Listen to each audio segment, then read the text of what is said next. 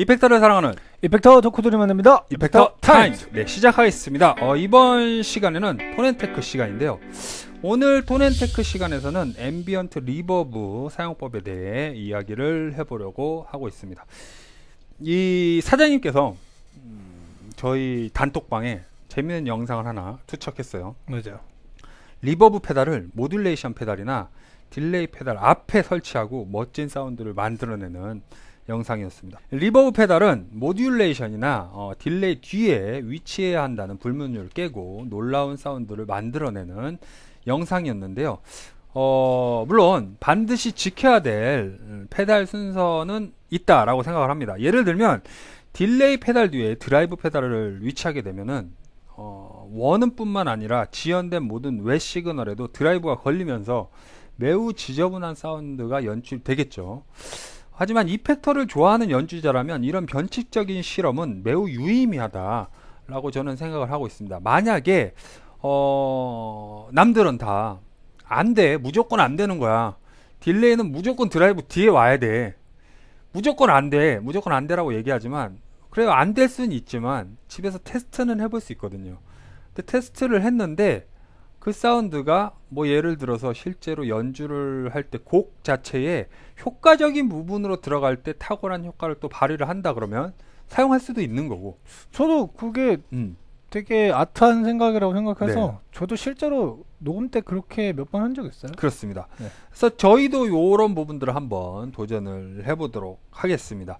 일반적인 세팅인 modulation과 delay 뒤에 reverb를 연결한 사운드랑 reverb를 앞단에 둔 사운드를 비교를 하면서 어떤 차이가 있는지 그리고 과연 기존의 그 틀을 넘어설 수 있는지에 대해서 테스트를 진행을 해볼 텐데요. 이 이렇게 되겠죠. 리버브의 잔향에 어, 뒤에 이제 코러스 effector가 위치하게 되면 reverb 잔향에 그 울렁이는 위상차가 입혀지겠죠. 그렇죠. 어, 그랬을 때 사운드와 이 코러스의 이 위상차가 발생한 이 코러스 사운드에 뒤에 reverb 잔향이 묻었을 때 어떤 차이가 있는지를 먼저 한번 테스트를 해보도록 하겠습니다. 일단은 일반적인 테스트를 위해서 동일한 Julia 페달을 어, Slö 페달 앞뒤로 저희가 연결을 한 상태고요. 일단은 코러스 뒤에 reverb가 왔을 때 사운드를 먼저 한번 들어보도록 하겠습니다. 이거를 켜고 코러스를 한번 켜주시겠어요? 일단 reverb 사운드만 한번 체크를 네. 해보세요.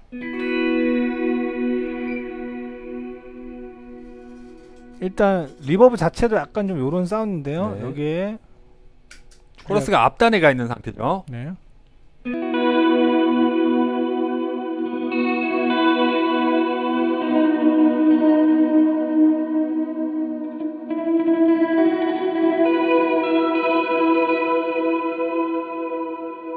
그렇습니다. 이 위상차가 발생한 어, 코러스 사운드에 어, reverb가 지금 묻어 있는 느낌이고요. 다음은 이 Slö 뒤에 코러스를 위치한 상태로 사운드를 들어보도록 하겠습니다.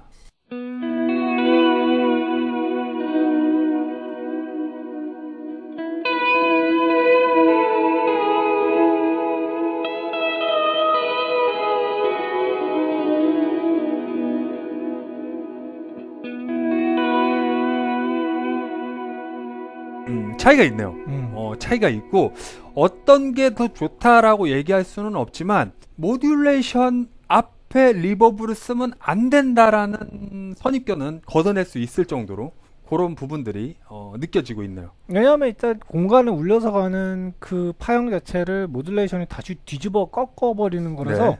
되게 좀 좋은 효과라고 저는 생각을 하거든요. 그렇습니다. 네. 그리고 그 보내주신 영상에서도 보면은 어, 그 연주자가 이런 ambient 사운드를 굉장히 많이 연구하는 음. 스타일이거든요. 음. 그래서 자기도 이 시도를 해봤는데 생각보다 괜찮더라 하고 나서 영상을 만든 거예요. 음. 그런 부분들이 여실히 느껴지고 있습니다.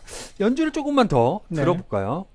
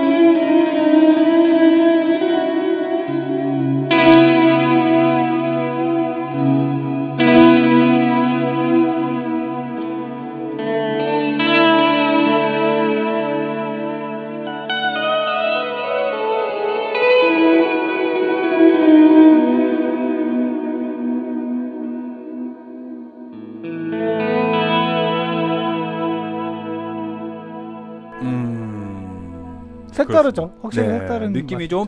확실히 다릅니다. 그러면 저희가 좀 더큰 음, 변화의 폭을 느껴볼 수 있는 페이저 페달과 물렸을 때 어떤 느낌이 발생을 하는지 한번 사운드를 들어볼게요.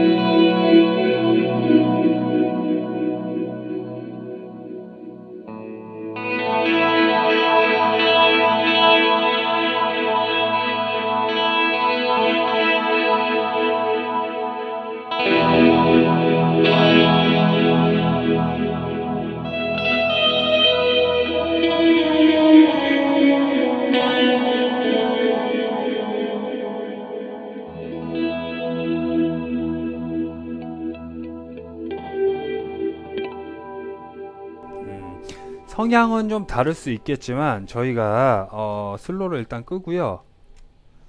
보시면 패덤을 어, 릴리안 뒤에다가 네. 어, 연결한 상태로 사운드를 한번 들어보도록 하겠습니다. 사실 이거는 지금 저희가 세팅을 해서 시머 세팅을 네. 해놨는데 일단 들어보시죠.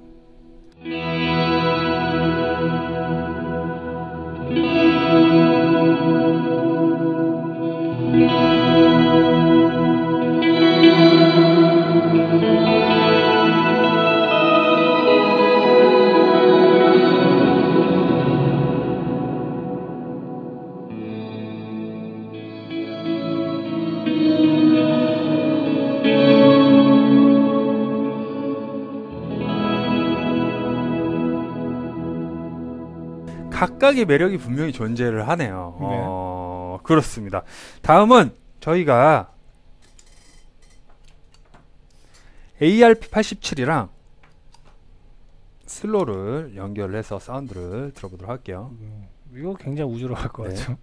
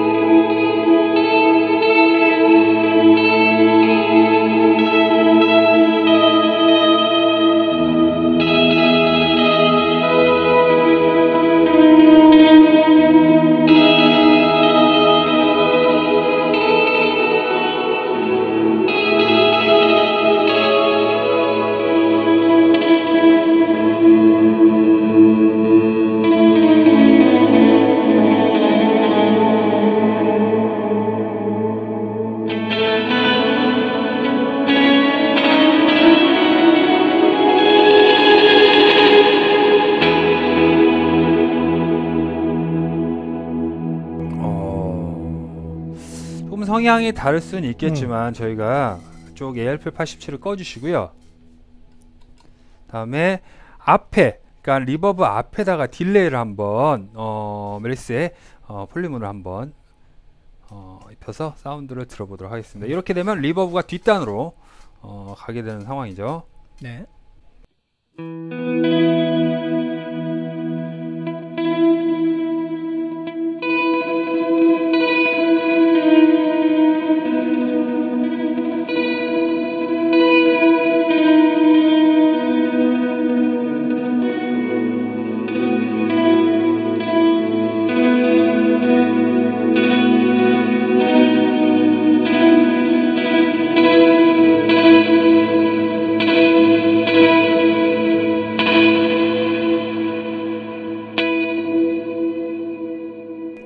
이런 식으로 당겨오는 거죠. 그렇죠. 네네. 음. 원래는 그래서 저희가 오늘 어, 이런 테스트들을 진행을 해봤는데 어, 이런 이문점이 생겨요. 그러니까 예를 들면 어, 원래 보통 일반적인 연주자들이 얘기하는 이펙터 체인의 순서를 지켰을 때 어, 톤을 조합을 하는 것보다 이렇게 앞에 잘안 두는 reverb를 앞에 뒀을 때 조합을 할 때 이제 한계가 더 많아지는지 조합이 좀 더 까다로워지는지에 대해서 은총 씨한테 한번 물어보고 싶어요. 이게 어떤 effector든 두 개, 세 개 이상을 쓰기 시작하면 조합을 하기 위해서 톤 조작을 많이 해봐야 되잖아요. 그래서 best match를 찾아내야 되는 게 어, 연주자들의 몫이고. 근데 이 effector 체인 순서를 지켰을 때 조작하는 것보다 어, 이렇게 effector 체인 순서를 어떤 면에서 지키지 않고 reverb를 앞으로 뺐을 때 좀 더 신경을 써서 조합을 해야 될까요?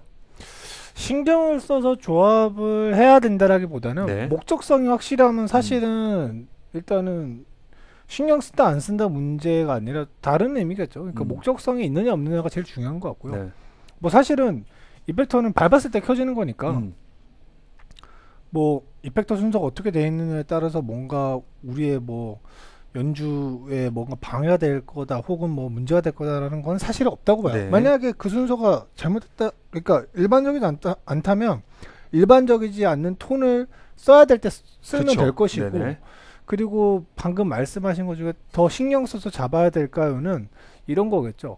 그 톤의 목적성을 다시 한번 이야기해 드릴 때 그 톤이 실제로 더티하게 나야 된다면 음. 한없이 더티하게. 잡아야겠죠. 음. 근데 뭐 예를 들어서 정말 치밀하게 잡아야지만 나는 소리다면 당연히 음, 치밀하게 잡아야 될 것이고. 음. 근데 그걸 역순으로 다시 말해서 원래 순서대로 페달을 짤 때도 마찬가지겠죠. 마찬가지다. 사실 네네. 마찬가지인 네네. 거죠. 네네. 근데 뭐 본 순서대로 가면 문제가 없다? 아니죠. 본 순서대로 갔는데도 음, 톤 개판으로 잡아놓으면 음. 개판으로 하잖아요. 음. 그러니까 그거는 별로 중요하지 않은 것 같다. 이제 네.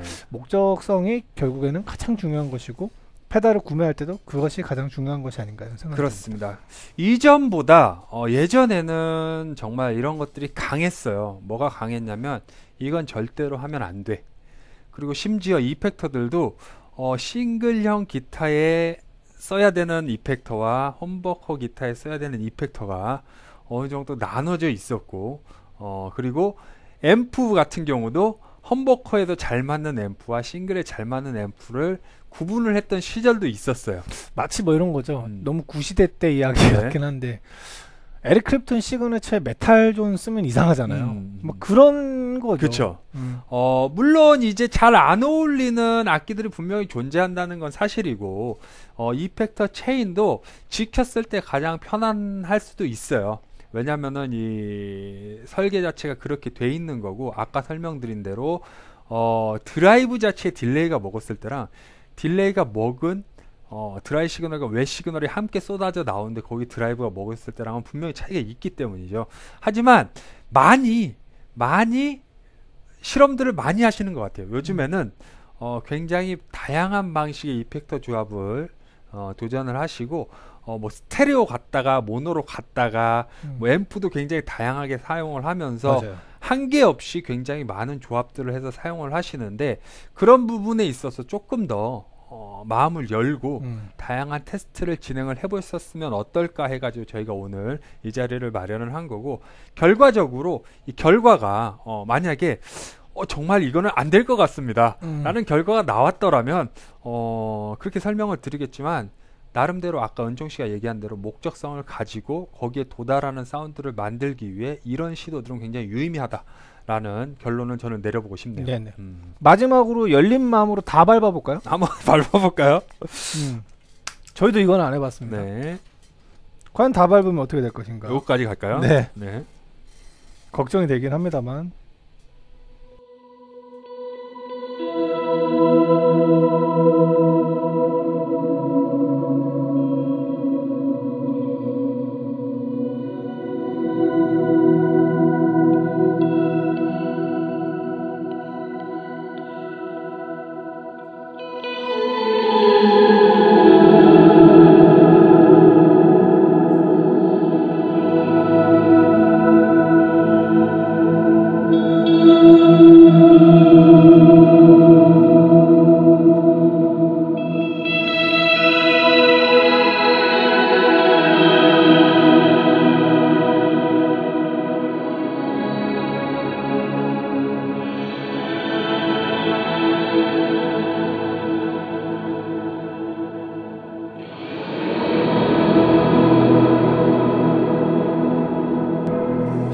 약간 한 로또 한 3등 맞은 기분이네요.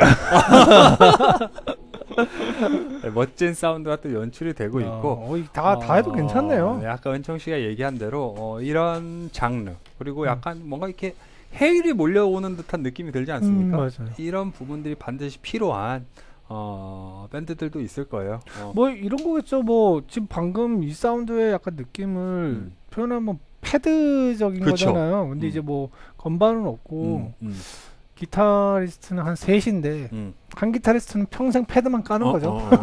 그렇습니다. 어, 오늘 나름 재밌었던 시간이었다고 생각을 하고요. 다음번 Tone & Tech에서는 또 다른 재밌는 주제를 갖고 찾아뵐 것을 약속을 드리면서 이 시간 마무리 짓도록 하겠습니다. effector를 사랑하는 effector 덕후들이 만듭니다. effector time. 네, 다음 시간에 뵙겠습니다. 감사합니다. 유튜브 구독과 좋아요는 우리에게 큰 힘이 됩니다.